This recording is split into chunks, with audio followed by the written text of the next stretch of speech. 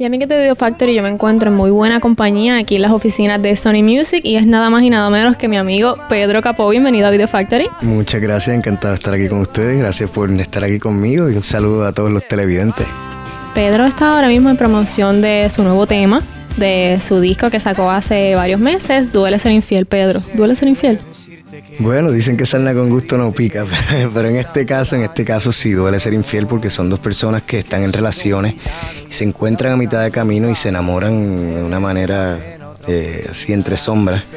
Y pues al realizar que no pueden llevar su amor a, una finalidad eh, y que tienen que regresar a sus respectivos hogares, pues duele ser infiel porque encontraron el amor de su vida, la persona adecuada en el momento menos indicado. ¿Y ese tema te inspiraste en una experiencia propia? no, no, no. Eh, es un concepto que hice con mi, buen amigo y colega Leonel García. Eh, queríamos darle un, giro diferente al tema de la infidelidad, que es un tema medio tabú, que pues, hay que hablarlo y no queríamos que fuera el duele porque me fueron infiel o duele porque fui infiel, sino el ángulo de las dos personas que están en, ese, en esa infidelidad. Vienes de un tema también de Un Minuto Sin Ti que me encanta. ¿Cómo fue la aceptación de ese público con el tema del disco que sacaste en septiembre? Pues gracias a Dios, muy, muy bueno. Aquí en Puerto Rico nos abrieron los brazos de manera increíble. Muchas agradecimiento a mi público.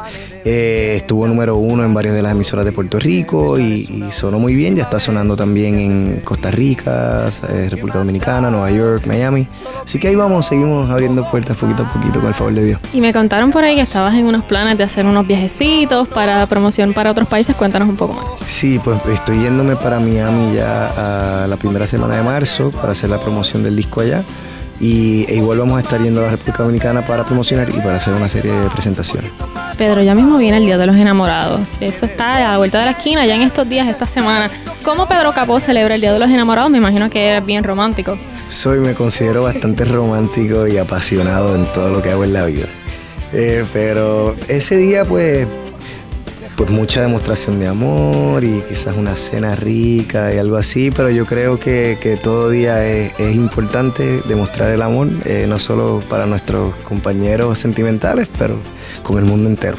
Bueno, gente, si no saben qué regalar en el día de San Valentín, el CD de Pedro Capó es una buena alternativa, ¿verdad? Eso es así, la mejor de todas.